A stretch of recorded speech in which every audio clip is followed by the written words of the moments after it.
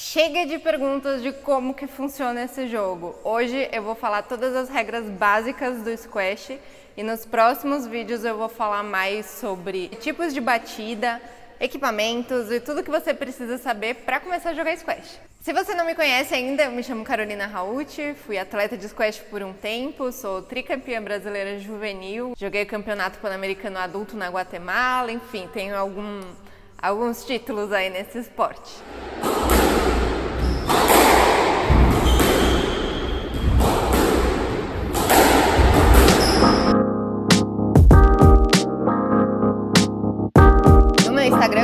Postando os meus treinos e sempre surgem dúvidas de como que se joga. Então eu decidi fazer uma série aqui falando um pouco mais sobre esse esporte. Então se você chegou através do YouTube, não deixa de me seguir lá no Instagram que lá eu posto os meus treinos. Enfim, vamos lá. Primeira coisa que você precisa saber.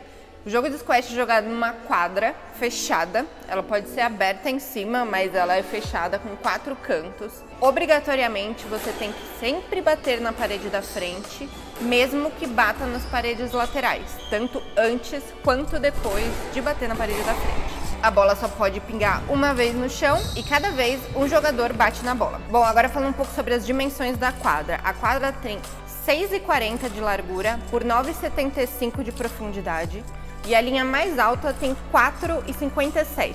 Mas o ideal é que a quadra tenha no mínimo 6 metros de altura para você conseguir dar um lobby e depois eu vou explicar melhor o que é um lobby para vocês. E agora sobre as marcações da quadra. A linha mais baixa é como se fosse uma rede de tênis. Então nenhuma bola pode pegar para baixo dessa linha. A linha superior, que é a linha que contorna a quadra inteira, os quatro lados, é a linha que não pode sair a bola. Uma peculiaridade do squash é que linha é fora.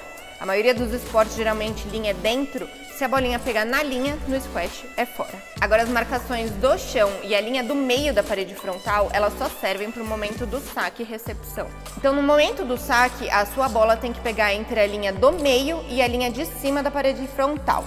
Enquanto você estiver sacando do lado direito, a sua bola tem que pegar do lado esquerdo. Durante o saque, pelo menos um pé inteiro tem que estar no quadrado pequeno do chão que você está jogando. Não vale meio pé, não vale a pontinha do pé, tem que ser no mínimo um pé inteiro. Se você está sacando do lado direito, o seu saque tem que pegar no quadrante grande do lado esquerdo, não naquele quadrante pequenininho. O pequenininho só serve para quem está sacando daquele lado. Existem duas regras no squash que são muito polêmicas, que é o let e o stroke. Depois eu vou fazer um vídeo falando um pouco melhor sobre essas duas marcações, porque elas são bem complexas, mas só para vocês entenderem a princípio. O let é quando você atrapalha o seu adversário para chegar na bola.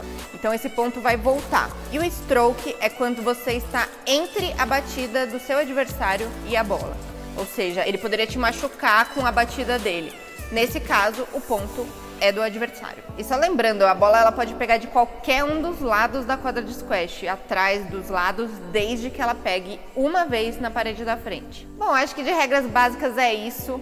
É, o squash é um jogo muito dinâmico. Se você chegou nesse vídeo porque está pensando em começar a jogar, eu recomendo fortissimamente. É um jogo muito divertido e eu tenho certeza que você vai gostar. Não deixe de acompanhar os próximos vídeos, onde a gente vai falar mais sobre tipos de raquete, de tênis, de bolinha, tudo que você precisa saber. Espero que você tenha gostado. Comenta aqui embaixo se você já joga, me conta de onde você é, que tipo de raquete que você usa. E é isso aí, até a próxima.